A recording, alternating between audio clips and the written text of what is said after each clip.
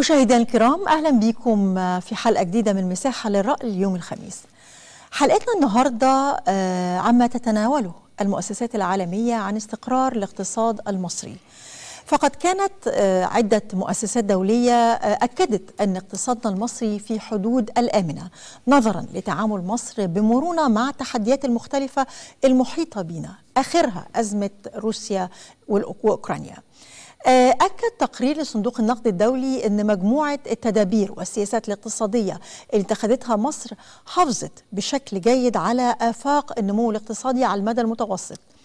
آه، التقرير وضح أن الإجراءات المتخذة اللي شملت توسيع نطاق الحماية الاجتماعية ضمان حرية سعر الصرف آه، كخطوات ساهمت في امتصاص الصدمات الخارجية خلال هذا التوقيت المضطرب. آه، من جهتها أكدت مؤسسة فيتش المالية الدولية أن الأزمة الروسية الأوكرانية من شأنها أن تؤدي لزيادة الضغوط التضخمية على مستوى العالم وتؤثر على تدفقات التجارة العالمية. أشار التقرير أيضا إلى أن مصر رغم تأثرها سلبا بالأزمة الروسية الأوكرانية لاعتمادها على الواردات من من الدولتين إلا أنها اتخذت إجراءات مناسبة للحد من آه، تلك الضغوط الخارجية. حول هذا الموضوع بتدور حلقتنا النهاردة واللي بيسعدنا أن يكون معنا فيها الأستاذ عمرو الجندي الكاتب الصحفي بالأهرام. أهلا بحضرتك. أهلا وسهلا بك. يعني بداية كده إيه هي عناصر قوة الاقتصاد المصري اللي مكنته من الصمود في هذه المرحلة؟ لو نلاحظ إن إحنا من أول آه، ما بعد مرحلة ثوره 30 يونيو مضى الاقتصاد الوطني في مسار أو مسيرة نالت الإشادة الدولية على طول الخط آه، بقوة أحيانا أحيانا بن- بنمر بظروف زي مرحلة الكورونا وقبل جائحة الكورونا كان في آه، صعود كبير للاقتصاد المصري. نعم. عدينا المرحلة الصعبة وبدأنا نستعيد تاني المبادرة. حاليا بنواجه آه، موضوع الأزمة الأوكرانية الروسية. بنواجه برضو بنفس المعايير آه، خطواتنا بتنال الإشادة الدولية.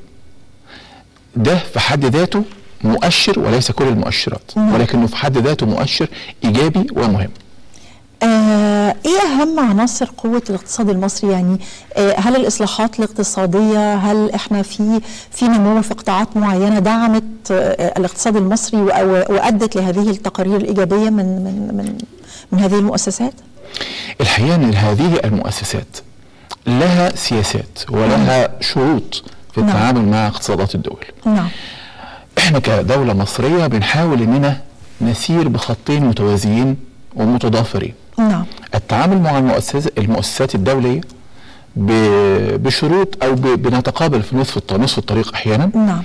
مع آه، أمور أو اتجاهات هذه الاتجاهات قد تضاد اتجاهات هذه المؤسسات الدولية اللي آه، ما بتحبش الدولة تكون مالكة لقرارها ما بتحبش الدولة تكون آه، متسيدة لقرارها الاقتصادي بالذات. إحنا ماشيين باتجاهنا بدأنا فعلا نمتلك أدواتنا نعم. ونصنع اقتصادنا وصناعتنا وزراعتنا. نعم. التنمية المحلية أو اقتصاديا وزراعيا نعم. بصناعات آه، تقيلة بصناعات عملاقة مجمعات صناعية كبيرة جدا في كل في كل مصر. نعم. تمدد آه، لتن- ل- لتشمل مناطق كانت محرومة تماما من التنمية زي سينا وزي الصعيد. النهارده بقى في مجمعات صناعية كبيرة جدا في كل أنحاء الجمهورية. بنحاول إننا نعتمد على أنفسنا وصولا إلى التصدير وبالتالي تقوية العملة المصرية وبالتالي تقوية الاقتصاد المصري وبالتالي تقليل أي اعتماد على تعاون مشترك مع المؤسسات الدولية. وفي نفس الوقت بنحاول آه، نرى ما يناسبنا من سياسات هذه المؤسسات الدولية لنتخذه ونتبعه بما لا يخل بالتزامنا نعم. بمسيرة هي هي هي خط وسط أو نعم. مسار وسط ما بين ما هو آه اشتراكي ورأس مالي. إحنا ماشيين في المسار الوسط بالظبط نعم. آه يعني يعني تكملة على كلام حضرتك مؤسسة جولدمان ساكس آه اتوقعت إن إن رفع يعني سعر الفائدة يكون له انعكاسات إيجابية خصوصا على جذب الاستثمارات. كيف ترى هذه العبارة؟ رفع سعر الفائدة حل سهل أحيانا لمواجهة الأزمات بنعتبره الحل ال- ال- المباشر نعم. اللي طبعا إحنا بنمر بأزمة آه، عالمية مش إحنا نعم. بس نعم. البنك الأمريكي لما بيرفع الفايدة كل اقتصادات العالم بتتأثر وبتبقى مضطرة إنها تعمل حاجة زي كده نعم ولكن بنتخذ إجراءات بديلة بنتخذ إجراءات أخرى بنتخذ إجراءات حتى اقتصادية أو تمويل مختلف نعم. عن طريق البنوك المصرية نعم. اللي بدأت تجتذب رأس المال المصري. نعم فبالتالي إحنا بنقوي حركة السوق المصرية بنقوي العملة المصرية من ناحية وفي نفس. في نفس الوقت بنحاول إننا ناخد آه، خط الدفاعي شوية مع ال- الأزمة اللي, اللي, اللي, اللي بغتت الدنيا كلها آه، هل هل ده يعني رفع رفع ال- الفايدة هل ده يعد حاجة جاذبة للاستثمارات الخارجية أيضا؟ هي لحد ما بتسهل نعم. طبعا لأن نعم. لو ال- العملة الم- الم- المصرية في في المتناول أو لو الدولار بالتوازن في المتناول بالنسبة للمستثمر الأجنبي بالتالي طبعا هنستعيده مرة ثانية عشان ما- يحصلش زي ما حصل أول ما حصلت الأزمة الأوكرانية الروسية آه، هروب بعض رؤوس- الأموال نعم. بنستعيدهم تاني نعم. وبنستعيد عنهم برأس المال المصري ال- آه، القوة المصرية الشعب المصري مؤمن بالاقتصاد المصري وده يتمثل في أمرين. المرة الأولانية في في في, في مشروع قناة السويس الجديد والم- وال- والمشروع الثاني لما آه، بدأ إن إحنا آه، نمارس عملية آه، إعادة تقوية شرايين الاقتصاد المصري بتمويل مصري بنكي للبنوك المصرية. يعني يمكن مصر تأثرت بقدر كبير من الأزمة الروسية الأوكرانية لكن الأكثر تأثرا هو الجانب ال ال ال ال القمح استيراد القمح إحنا بنستورد من روسيا وأوكرانيا الاثنين يعني ال- التدابير اللي اتخذت في مصر والمحصول اللي إحنا لسه الخبر كان الأسبوع اللي فات آه، ال- ال- القمح من توشكا والمخزون الاستراتيجي اللي بيغطي آه، أربعة أشهر من توشكا فقط. يعني كيف ترى هذا؟ وأين موقعنا؟ وأهمية هذه التدابير في مصر؟ يعني لا لا لا أجادل. لو قلت آه إن أنا أتوقع إن ده كان متوقع فعلا. يعني زي ما نعم. يكون الدولة كانت متوقعة إن حاجة زي كده تحصل. إحنا مضينا قدما نعم. باتجاه زراعة القمح.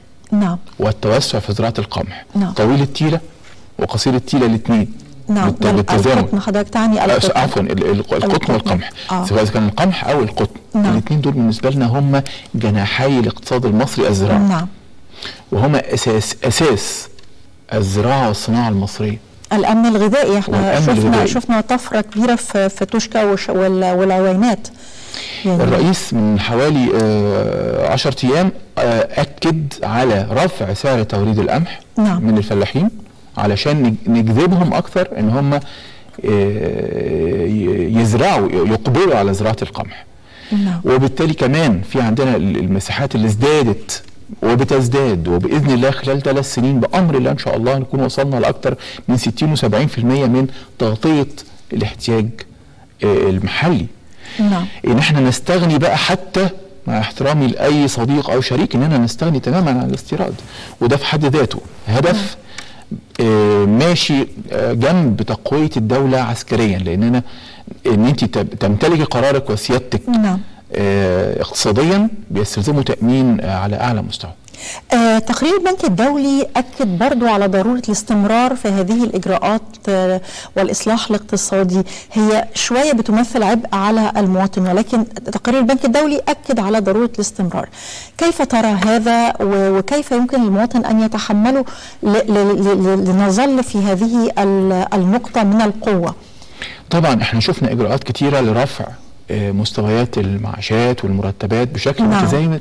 ما أظنش إن في دولة في المنطقة حوالينا هذا احترامي حتى أنا بتكلم نعم على نعم زيادات نعم ما أظنش إن في دولة حوالينا سمعنا فيها نعم. أي زيادات نعم على العكس ما بتكلمش. خالص على فروق ما بين مثلا نعم. مصر نعم. ودولة أخرى أنا نعم. بتكلم إن إحنا بنزيد رغم الأزمة بنزيد رغم الأزمات والجائحة الكبرى اللي العالم كله مر نعم. بيها ده حاجة الحاجة الثانية الاقتصاد المصري بدأ إن هو يبقى فيه خط آه، بتتولاه الدولة بتتبناه الدولة. نعم. لمقاومة قوى آه، احتكارية قوى بتحاول إنها تسيطر نعم. على الأسواق بتحاول إنها أحيانا ترفع نعم. الأسعار. فالدولة بتنزل بخطوط إنتاجها. نعم. وده بيفتح فرص عمل. ده ده بي بي بيفتح فرص عمل. نعم. بي بيخفض الأسعار. بمعنى أصح بيضرب الأسعار المحتكرين. نعم. ولذلك نجد بعض الأصوات غير الم- المستفيدة من هذا الأمر اللي هم يعني اللي استفادوا زمان في مرحله مرح- مراحل الفساد السابق. أنتوا ليه الدولة ليه بتنزل؟ المفروض الدولة تسيب السوق حر. لو الدولة سابت السوق حر تماما آه، ساعتها المواطن مش هيشكو بقى ده ساعتها المواطن هيبقى في حال تاني خالص. إحنا في نعم الحمد لله رب العالمين. إحنا بنواجه ما يواجهه العالم بظروف افضل. بكثير جدا من العالم. يعني أزمة كورونا كانت مقدمة لما يحدث الآن من ضغوط اقتصادية. هل ساعدت مصر في الصمود؟ آه، كانت يعني كانت مرحلة تمهيدية للصمود؟ آه، ممكن تقول لها مناورات اقتصادية. مرينا ف- بقى فعلا بهذا. وأنا أنا أنا إحساسي إن إحنا كنا متوقعين زي ما قلت لسعادتك كنا متوقعين حاجة زي كده. كنا متوقعين أزمة ما تعصف بال- بالسوق. ولذلك لم نرتبط بشدة بالأسواق العالمية ولا بشروط المؤسسات الدولية. نعم. النهارده لما بنتكلم على ان مصر بتسعى وهي من أول الدول التي سعت للخروج من عباءة الدولار. نعم. إحنا عندنا الدولار هو العملة المسيطرة أو المتحدثة باسم نعم. النظام العالمي الجديد. نعم. اتشكلت من خلال آه، اتفاقية بريتون and وودز من أيام الأربعينات. نعم. لما جت أمريكا كسرت القاعدة وبدأت إنها تضخ الدولار بدون سند من الذهب ده نعم. سبب تضخم جبار في العالم كله كل العالم والفترة الأخيرة أيضا يعني قامت بطباعة دولارات لتخطي البنك- الأزمة آه، أزمة كورونا بالظبط كل ما البنك الفيدرالي بيرفع الفايدة فهو بيطبع مزيد من الدولارات آه، بدون أي مقابل وده بيبقى عبء رهيب على شرايين الاقتصاد العالمي كله. إحنا بدأنا نخرج من هذا في كذا في كذا مسار نعم. ومش بس كده ده إحنا كمان بقينا آه، مثل أعلى يحتذى في الدول اللي جنبنا يعني حتى نعم. في الدول الخليج الشقيقة اللي كانت تعتبر طول الوقت مرتبطة بشدة بالاقتصاد الأمريكي نعم. النهارده بدأت تحذو حذو مصر نعم. بدأنا نتعامل مع الروس بد- بدأنا نعم. نتعامل على الاقتصاد الروسي بدأنا النهارده نستورد القمح الروسي نعم آه، بال- بالروبل ومقابل إن روسيا هتستو... هتستورد مننا مننا نعم. بالجنيه المصري. نعم. هذا هو المسار. ويعني يعني آه، يعني حضرتك ذكرت نقطة هامة آه، خاصة بالدولار وهناك اتفاقية أو يعني شبه آه، مفاوضات مع الدول العربية للتحول لتوسعة سلة عملاتها بعيدا عن الدولار. يعني يا ريت حضرتك تدينا فكرة عن هذه النقطة أيضا لأنها اتجاه عربي أيضا ولي- وليس مصري فقط. بالفعل. النهارده السعودية بدأت إنها تتجه حتى للصين. بدا يكون في تعاون تعاون باليوان الصيني. نعم. آه إننا نفتح منافذ مختلفة. ده بيقلل الضغوط اللي بيعانيها الاقتصاد القومي سواء إذا كان في مصر أو السعودية أو الإمارات أو أو أو. وكمان بيخرجنا من دايرة ردود الفعل. نعم. لما بنخرج من دايرة رد الفعل في نظام مفتعل هذا هو النظام العالمي الجديد بنظامه البنكي بنظامه الاقتصادي المفتعل نعم. والقائم على أسس واهية. نعم. أي أزمة بتحصل في هذا الاقتصاد إحنا بنكون بمنأى عنها كل ما بعدنا عن الارتباط بيه. كل ما اعتمدنا على اقتصادنا القومي وعملتنا نعم. وقوينا عملتنا القومية ونوعنا في- في مصادر آه، تعاوننا الاقتصادي نعم. بالتالي بنكون أبعد ما يكون عن الصدمات بإذن الله يعني هتوقف عند هذه النقطة وبنتابع ما ذكرته الصحافة في هذا الشأن وعودة لضيفي في الاستوديو الأستاذ عمرو الجندي الكاتب الصحفي بالأهرام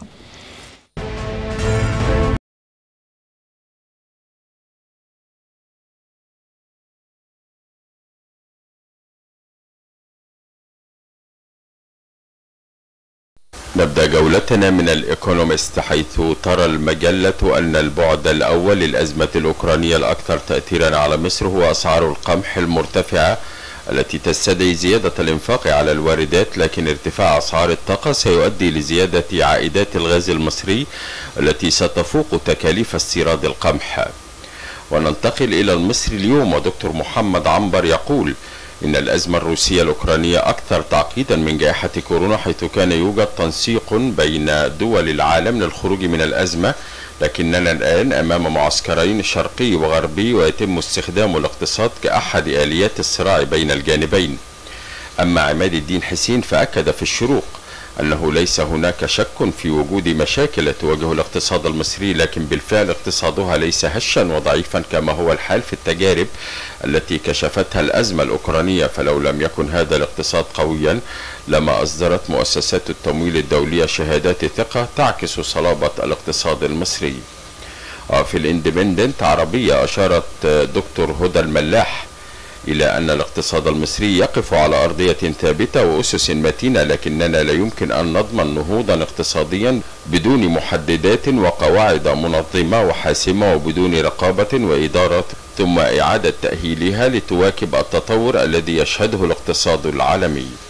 والختام من اليوم السابع والتي أشارت لتقرير البنك الدولي بأن مصر اتخذت عدة إجراءات لمواجهة آثار الحرب في أوكرانيا حيث قدمت حزما تمويلية للتخفيف من ارتفاع الأسعار من خلال زيادة الأجور والمعاشات كما أن قطاعات استخراج الغاز وقناة السويس آخذة في التعافي كما يواصل قطاعي الاتصالات والبناء دورهما في تحقيق النمو.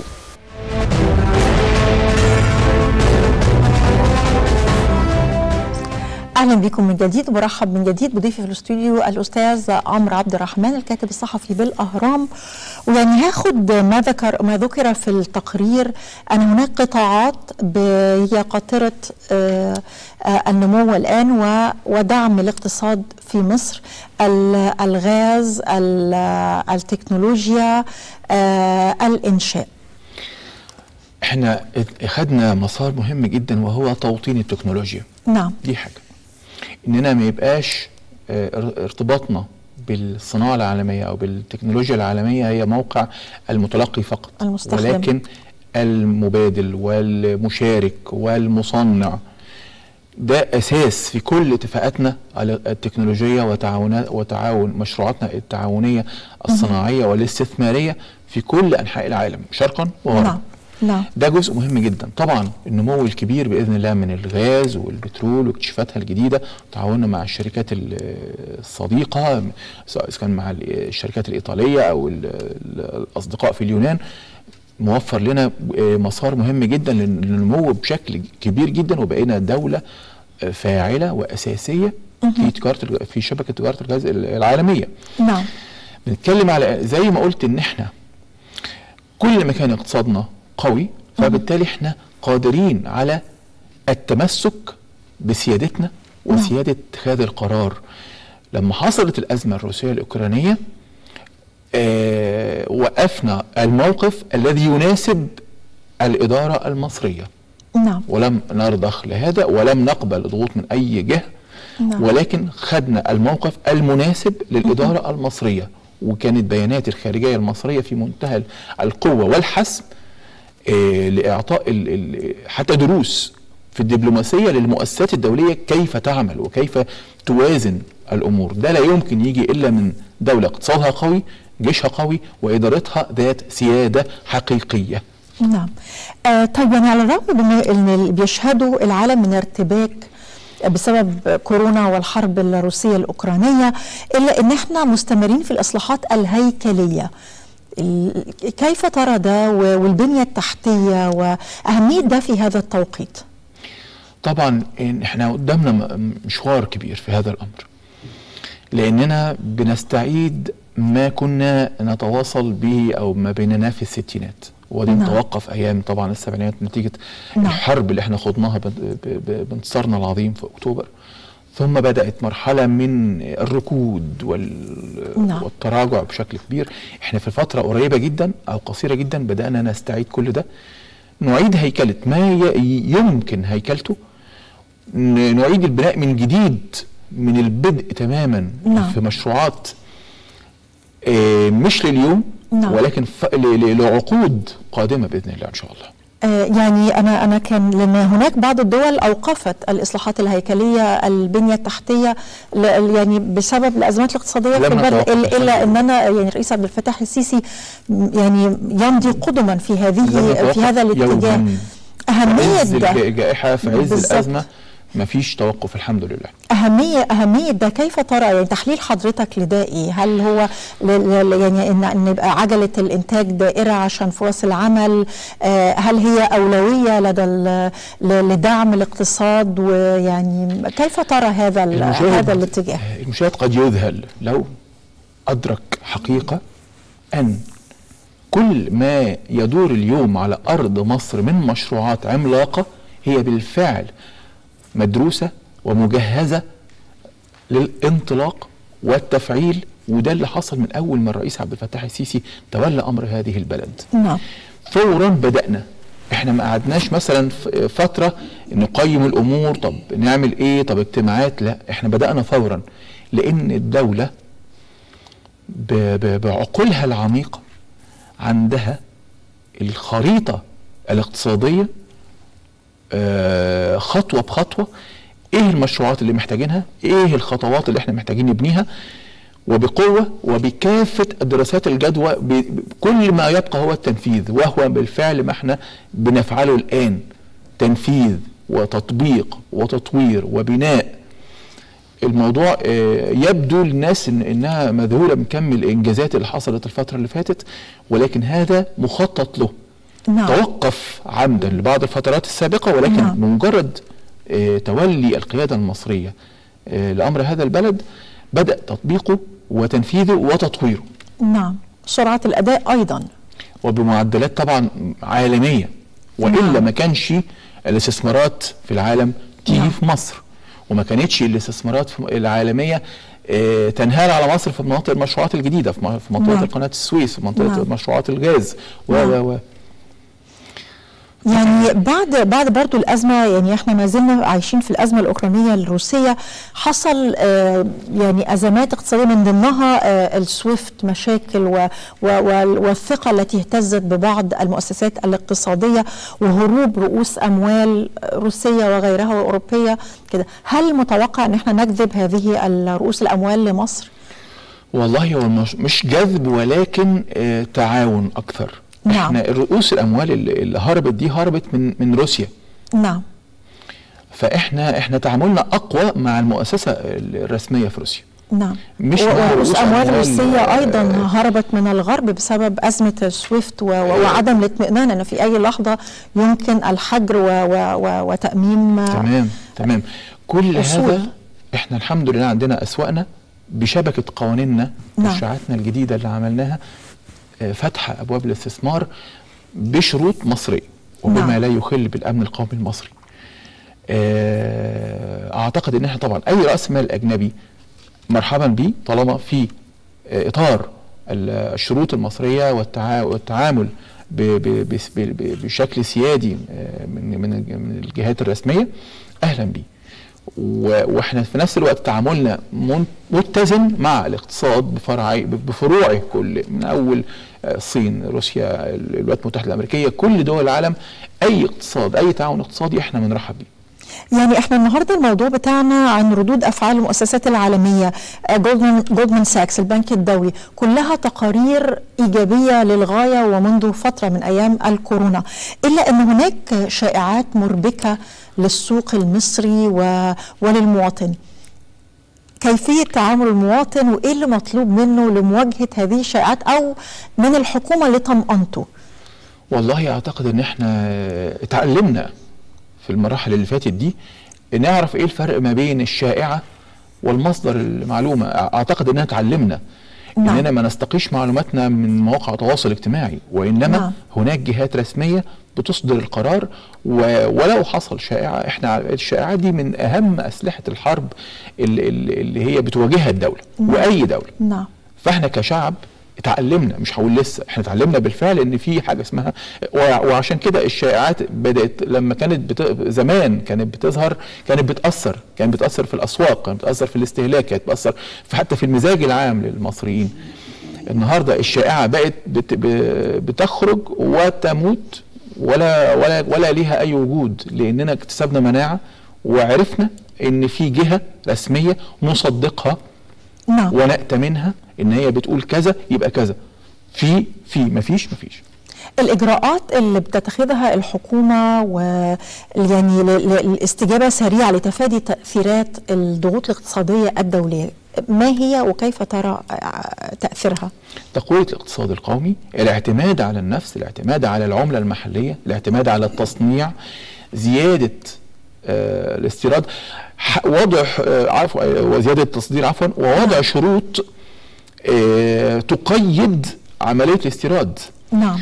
إننا بنمنع عملية إننا نستورد كل ما هو جاي من الخارج نستورد استيراد المواد اللي هي أو المنتجات اللي الترف اللي, اللي إحنا مش محتاجينه الأمور اللي إحنا بنحتاج لها فقط بنبدأ إننا نستوردها. والنموذج الأكبر هو القمح. نعم. إحنا بنستورد قمح بشروطنا وفي نفس الوقت بنزيد مساحة القمح لكي لا نستورد قمح فعلى المدى القريب بإذن الله إن شاء الله.